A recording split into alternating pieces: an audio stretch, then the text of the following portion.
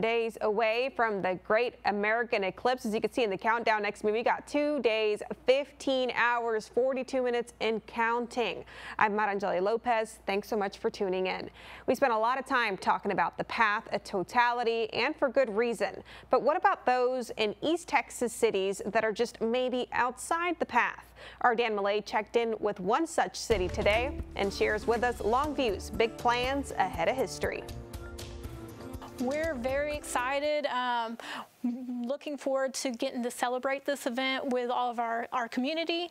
We are super looking forward to it. Uh, we hope as many people come as possible. Longview is just outside of the path of totality for this Monday's eclipse. According to eclipse2024.org, the city will be at 99.5% magnitude, just barely short of cities within the path.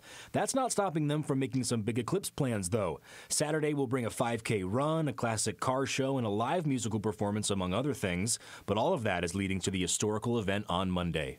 Noon to 3, we will have our official watch party going on on our plaza, or if it's cloudy or rainy or something for whatever reason, we're also going to be having, or if you want to stay um, cool, we'll be having a stream, a live stream in our Moshel room.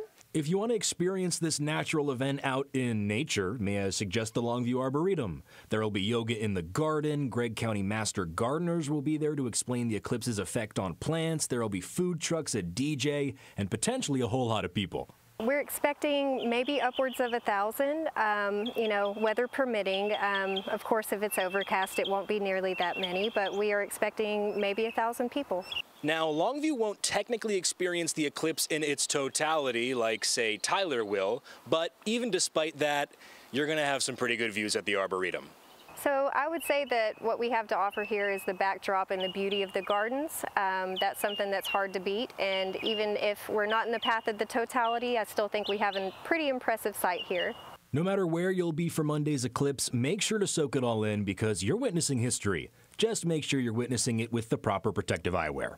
In Longview, Dan Malay, CBS 19. Well, thanks so much, Dan. With all those visitors coming